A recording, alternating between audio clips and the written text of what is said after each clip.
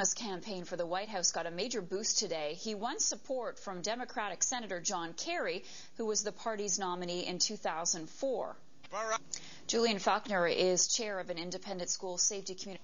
When we look at some of the recommendations, they may seem shocking to people, particularly people that live outside of the Toronto area, and they see that the recommendations involve random locker checks, canine units uh, where dogs can sniff out firearms as well as drugs. What sort of impact do you think that this will have on students and their learning? If they're walking down the hall and there's dogs walking through the hallways checking out lockers. It's completely, utterly false. The world's most famous mountain climber has died. Sir Edmund Hillary holds the record as the first person to reach the summit of Mount Everest.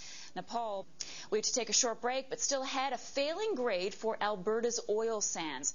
Ottawa has announced aid for some communities suffering economic hardship. Prime Minister Stephen Harper says his government will provide $1 billion to help workers in the forestry, fishing, and manufacturing industries. Harper made the announcement today at a New Brunswick lumber yard. It is aimed. Harper says the fund will come from the federal government's budget surplus. Now, there's no denying the close links between the Canadian and American economies, and for concerned Canadians, there's bad news today from south of the border.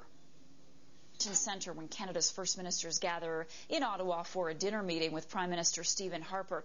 CTV's David Akin joins us now from the nation's capital. David, what can we expect tomorrow? Well, Welcome back. I'm Marcia Macmillan. Returning now to our top story tonight. Six Air Canada passengers remain in hospital, some with serious but non life threatening injuries.